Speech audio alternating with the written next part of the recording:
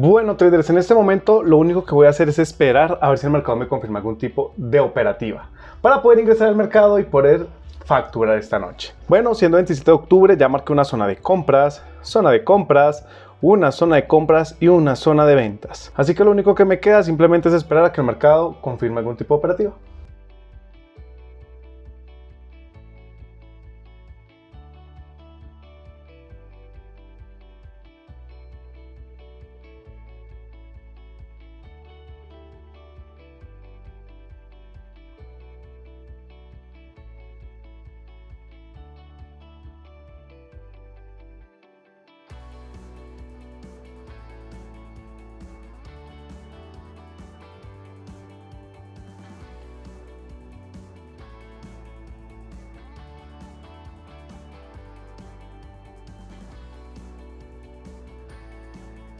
Bueno traders, acabo de ingresar en una venta y esto se debe a que el mercado empezó a tener un incremento de volumen a la baja. Por lo tanto tomo la decisión de simplemente ingresar en la operativa. Ahora simplemente lo que tengo que hacer es esperar a ver si de pronto el mercado me da como tal a dar la operativa, sea en ganancia o en pérdida. Entonces incrementó el volumen a favor de la operación, está respetando esa resistencia, un movimiento fuerte a la baja, ya lo que tengo que hacer es esperar a que se desarrolle. Si te está gustando este video, te recomendaría muchísimo que nos sigas en nuestras redes sociales. Tanto en Instagram como en Facebook aparecemos como arroba Colombia.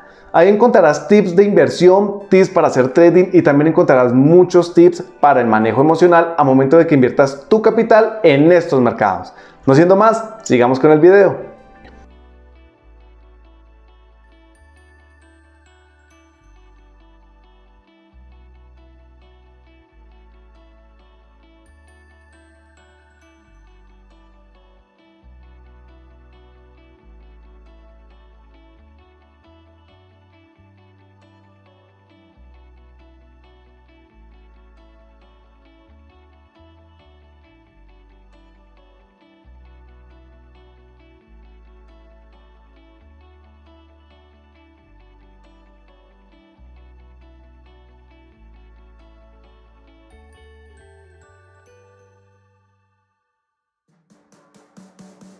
Y bueno traders, como se pueden dar cuenta, acabamos de llegar al target.